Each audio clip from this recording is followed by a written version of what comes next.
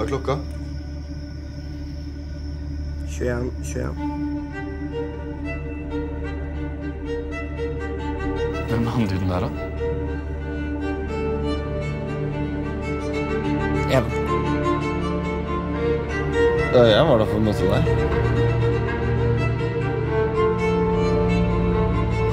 Jeg tror jeg var der for å ha det gøy. litt sånn eh, Hvor det?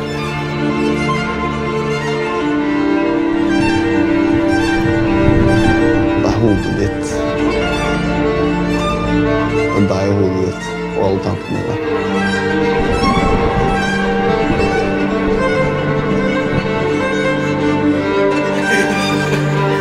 Jeg liker å jeg le.